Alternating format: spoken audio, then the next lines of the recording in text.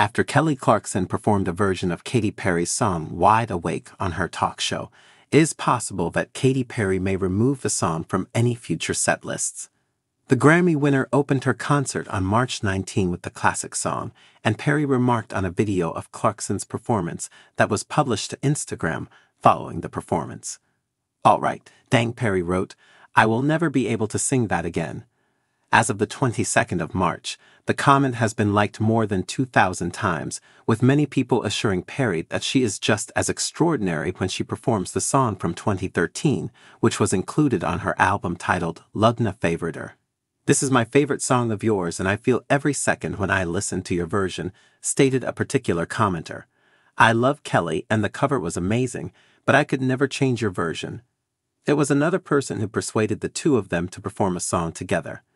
Clarkson is known for performing cover songs at the beginning of her talk show on a regular basis, and several of her performances have gone viral. During this time period in the year 2023, her performance of You Are a Tourist by Death Cab for Cutie was acclaimed by her audience. One of the users remarked, Queen Kelly Clarkson is just absolutely incredible in terms of her talent. Almost immediately after that, she captivated her audience with her rendition of the Spanish lyrics in Ritchie Valens' song, La Bamba. Her song was titled, Para Bailar La Bamba, slash para bailar la bamba slash se necesita una pocket of grace, and she sung it. The lyrics of the song Una Poca de Gracia are as follows Pa mai, pa tai, arriba, arriba, slash I arriba, I arriba, slash poor T will be, poor T will be, poor T will be. Is there anything that Kelly is unable to sing? One individual remarked, Wow, she sounds incredible even when she is speaking Spanish. Could Clarkson be working on a Kellyoke album in the near future? Let there be hope.